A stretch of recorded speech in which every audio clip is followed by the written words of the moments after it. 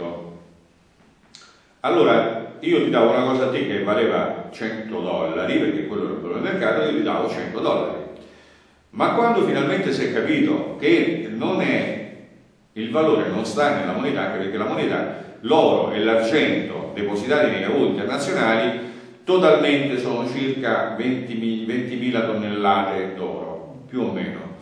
20.000 tonnellate d'oro che eh, eh, possono rappresentare quindi una parte finita, limitata di valore globale. Non so se è chiaro, perché io posso fare miliardi di frigoriferi, no? e già solo i frigoriferi valgono 20.000 tonnellate d'oro e, non faccio, non mangio più, non mi vesto più, cioè non, è chiaro? E quindi andava trovato, cioè non, non, si doveva svincolare giustamente il valore della moneta dalla quantità d'oro che rappresentava. E quindi giustamente si è fatto la, diciamo, la, il passaggio logico più razionale, che è quello di diciamo, rendere intrinseco il valore nel prodotto che io ho, quindi nel frigorifero. Il frigorifero è il valore. Cioè, io ho un vantaggio a avere un frigorifero, non, non ho il frigorifero, la, non posso mettere so, la carne, comprarla a chili perché devo comprare una fettina per volta perché sennò il giorno dopo c'hai i vermi. No? Invece compro il frigorifero, col frigorifero, quindi il frigorifero mi eh, risolve dei problemi. Ah, quindi ha un valore sia di costruzione, di, eh, ma anche di abitabilità, di, di, di diciamo, eh, di, proprio di feeling, no? io l'acquisto perché mi risolve determinati problemi. Quindi il valore sta dentro il frigorifero e io quindi devo emettere, lo, io Stato, devo emettere quel valore per permettere a qualcuno che ha bisogno di un frigorifero di comprarselo. Perché poi quel venditore del frigorifero a sua volta avrà i 100 dollari, 1000 dollari che, che, che vogliamo, per poter poi far girare nell'economia questo valore che servirà poi come scambio volta per volta, tutte le volte che serve. C'è a questo proposito un esempio ho fatto anche l'altra volta, ma vi dico perché eravamo eh, in altre persone, quindi nessuno forse l'ha sentito.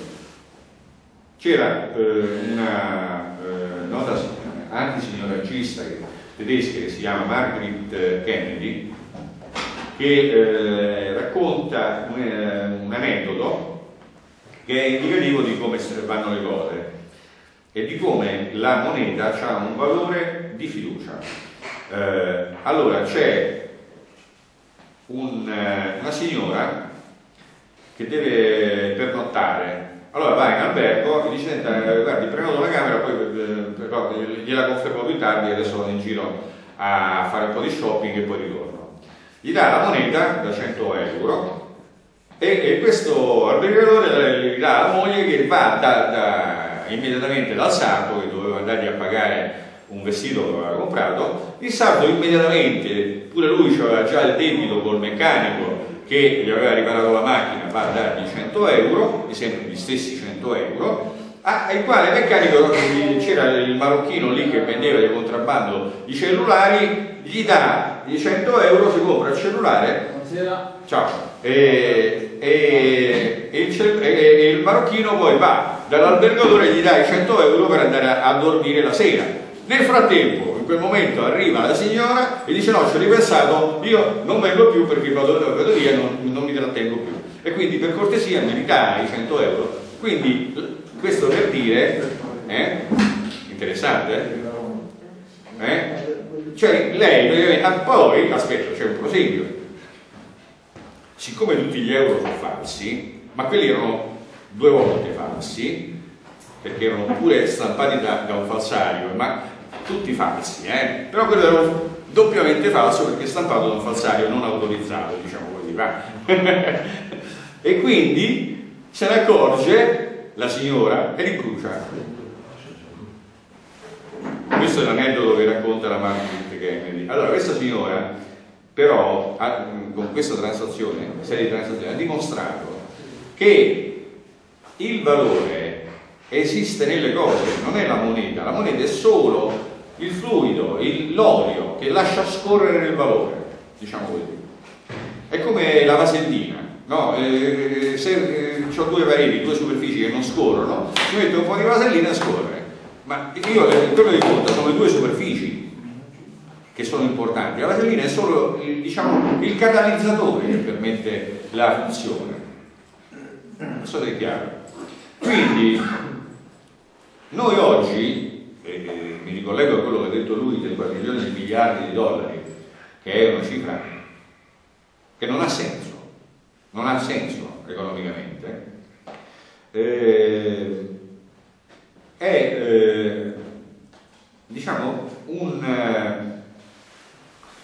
eh, oddio ho perso il filo perché stavo dicendo miliardi. Non c'ha senso. Parlavo del 4 milioni di miliardi non c'ha 70 anni di lavoro. No no no no, eh, no, stavo, eh, no stavo cominciando un'altra eh, argomentazione no va bene niente. Quindi per tornare allora al discorso della cambiare mi era venuto in mente qualcosa ma non lo ricordo più. Eh, il problema è quindi la fiducia.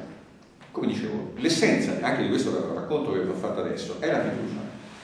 Non c'è nessun tipo di rapporto, io mi posso sposare con tutti i crismi in chiesa e anche in comune, ma se io non mi fido di mia moglie, dopo tre mesi io mi rodo il fegato in continuazione, penso che mi tradisce, magari mi tradisce pure, non ho fiducia e me ne devo andare.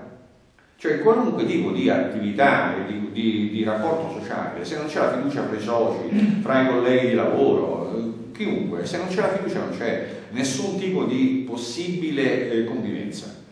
Quindi, e questo vale maggiormente appunto in una cosa così, diciamo, evanescente come, come il valore.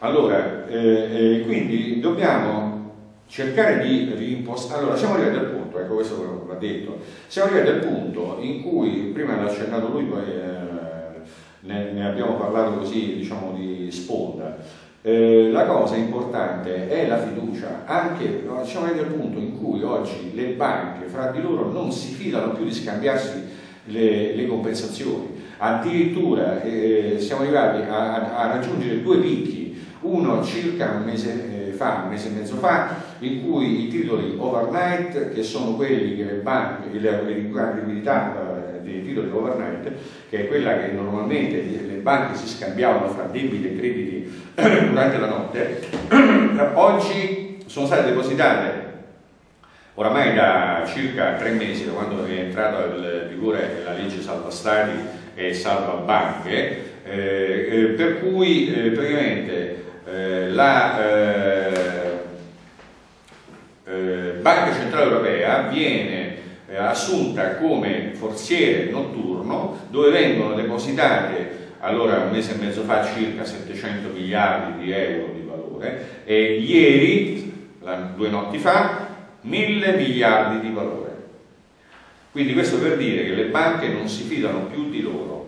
Quindi oggi il problema della crisi, come dicevo, ecco volevo dire anche questo, la crisi non esiste, la crisi esisteva ad esempio in Russia o in, a Cuba, esiste ancora, dove non c'è beni di consumo, non c'è roba da mangiare, non, non, ci sono i beni durevoli, non ci sono le strutture che funzionano, le case sono fatiscenti, che crollano e compagnia bella, ma in un'economia viva, fino a chi ce la lasciano vivere, come quella nostra occidentale, in cui ci sono milioni di frigoriferi invenduti, milioni di automobili invendute, milioni di appartamenti, case, ville, addirittura continuano a costruire, vicino a casa mia stanno costruendo ville a schiera in serie, a chi cazzo le vendono, vorrei capire io. Il mercato immobiliare è fermo, assolutamente fermo. Io ho amici che fanno gli agenti immobiliari che stanno tutti con le pezze al culo, nel senso che non, non vendono più nulla da almeno sei mesi, non qualcosa, nulla.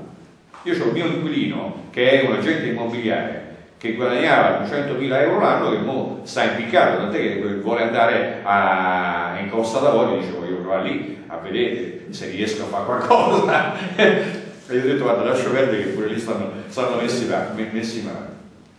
E sta tardando a pagarmi l'affitto, cioè, cioè, a questo livello. Eh, a me poveraccio fa più compassione che... Eh, cioè, però voglio dire, è una situazione generalizzata queste cose qua. E allora il problema, come dicevo, non è che mancano i prodotti, mancano i beni di consumo, mancano